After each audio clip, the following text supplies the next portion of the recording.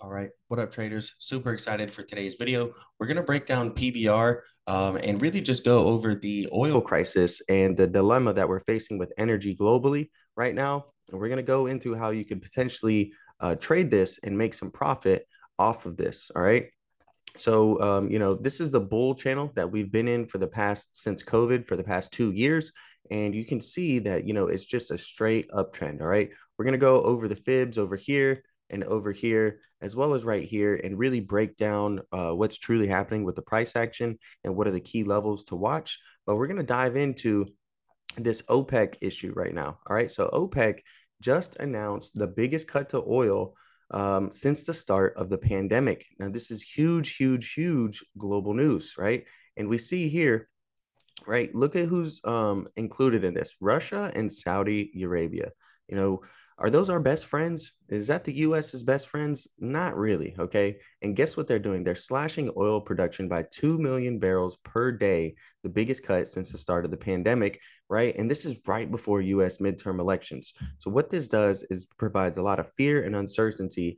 And, you know, we tend to get that a lot around the midterms especially the midterm elections um, you know once the midterms are over then that fear and that uncertainty kind of goes away because you know uh, who's going to be in office and what the policies are going to be.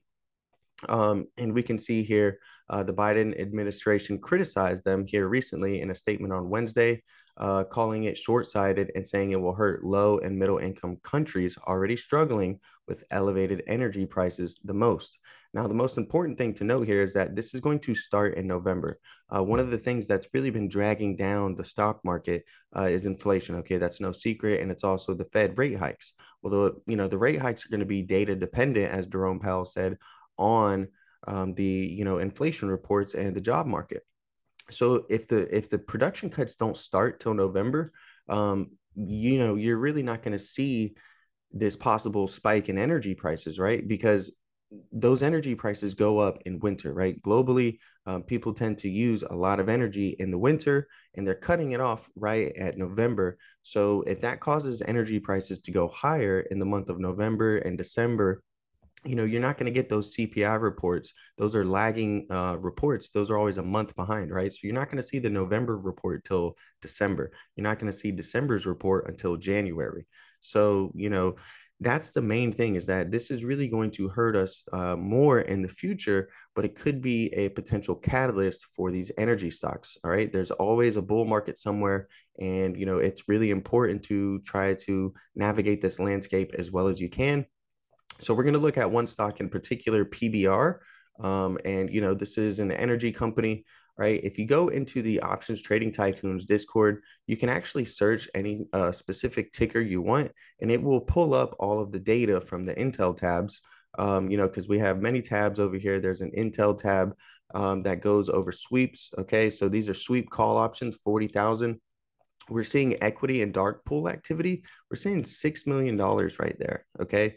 Um, and this is what really, really caught my eye this unusual option activity right here $620,000 worth of premium. Um, and it expires in less than one month, right? It expires on November 4th and it's October 11th right now.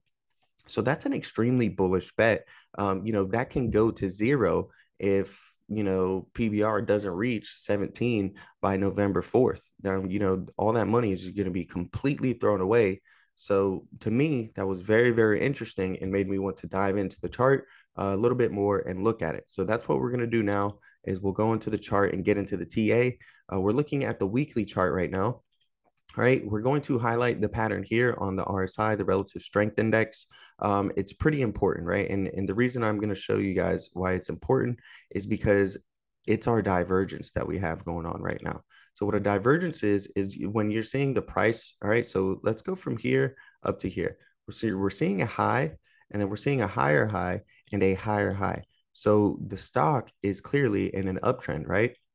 But look at our relative strength index. The relative strength index is made a high, a lower high, a lower high, and a lower high. So the relative strength has been decreasing as this went up, and we've been holding this trend line as a valid resistance level on our RSI. But look at what it's kind of setting up here, right? This is setting up an inverse head and shoulders on the actual relative strength index. And we have this nice triangle pattern right here uh, where we're baselining, okay? And if we're able to break through this on our RSI, there's plenty of room to go before we hit the overbought territory again um, at 70 on our RSI. So I'm really going to be paying attention and seeing if we're going to be able to get a breakout past here. Um, and maybe this OPEC is bad news as it is. Maybe it could be a good catalyst to help propel the stock even higher. Right. Um, so now that we covered the RSI and that divergence, uh, we'll go ahead and highlight how you know PBR has been in an entire uptrend uh, since the pandemic. Okay, if we look at the uh, how much it's up since since the COVID lows, all right, it hit highs of up 300%. And currently, um, at the time of this recording, the stock is up 250%. All right. Um, so, you know, it's been on an amazing rally. Lots of energy stocks have uh, since, you know, the COVID lows. And we're going to take a look at why you know this level up here this this uh, supply zone okay from about 1570 to about 1470 is going to be very very important um, and it could be the wall that we can't get past or it's going to tell us that we're about to blow through here all right? Uh, reason being is if we take our previous low and highs on the chart right and we take these lows all right up to the recent highs all right. Um, it's going to give us the 786, 618.5. You know, it's going to give you all of the retracement levels. And look at when we came back down and finally pulled back after the the big rally up. Look at where we broke. We broke the 786, but it didn't stay down there for long. And then it actually came back and retested it over here and it used it as support and continued higher. So the reason I'm showing you that is because we're looking for the retracement of this big move upwards, right? So it comes down and we're looking to see how far it retraces. If we look now um, at our most recent um, highs to lows, we're trying to retrace this move before the pandemic right now, okay? We're trying to retrace this move from here down to here, and we're going to see and look at the 786 and look, it's doing the same thing again right now right? So we're not able to get past the 786 of this retracement. Um, and that's you know that's that's kind of common, all right. That's something that you're gonna see. Uh, we just saw it over here in the past, and you know what's really going to be important is if we get above this level, all right, we're gonna come back up here into our next supply imbalance, and once we're there, um, this thing really, really could take off. All right. Energy really could take off. There's not going to be much resistance holding it back. All right. Um, and the reason being, again, is that 786 level, right? Once we get past there and we're able to flip this to support, right? Right now, it's been a strong resistance and we've been coming up and just dumping down, right? That's why we have the supply zone here. It's right along our 786. And, you know, it's going to be a really tough level for us to battle and beat. But just as we had a uh, inverse head and shoulder setting up here on the RSI, we have a little bit of an inverse head and shoulder setting up here on the actual stock price. Now, that's not to say that we can't come back down. If you look on our bullish channel here, we're trading directly at the uh, middle of that, and it's being a nice resistance level right now. Okay, so you know we tried to push up higher. Uh, we just came back down. The week isn't over yet, so we may see this pull back down, reverse, and head back into our supply zone. But the more times you test a supply zone, um, you know you have to think all of those orders are being filled, right? So how much more supply is going to be there when we've come into this zone one time, two time, three time, four, five, six, seven, eight, nine, ten, eleven. You know, we've already spent 12 weeks in this supply zone uh, just here in the you know the recent past all right? So you have to ask yourself the question are those sell orders is that supply imbalance still going to be there after those 12 weeks? Um, are there any catalysts right? And we do have some catalysts. So i do think that you know if we're able to break past here we will be heading up towards $18 um, but you know you just have to be cautious. There's a very small gap down right here to fill and those gaps tend to fill about 90 to 95% of the time, right?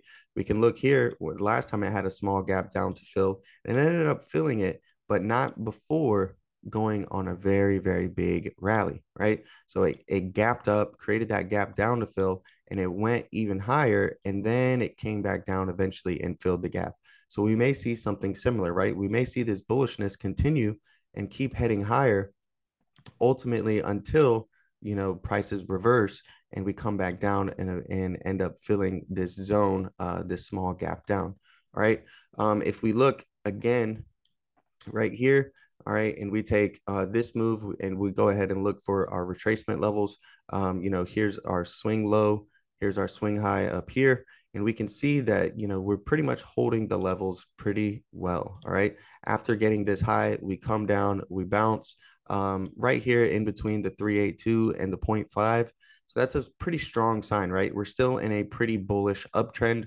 Um, you know if you're if you're finding support above the 50% retracement level uh, you know then that's a good sign that you're in a healthy uptrend. It may not be the strongest. It would have been a lot stronger if we would have held the 0.236 or the 0.382 exactly as support um, but you know after we made those highs up here it did come down and break uh, the 382 and we're basically found some demand right in between the 0.5 and the 0.382 um, currently right now look at where we gapped up to right? When we had that gap that we were just discussing, it was right there at the 0.236 level. So it's going to be um, a pretty key level in my in my view that we need to hold. Um, you know, if you want this stock to be going any higher, and then you have to watch out for your supply zone right here. Um, and you know, once we're able to break past these, we have a very small resistance right here, right in between uh, our next supply zone to the upside. All right, so hopefully you learned a little bit of something in this video.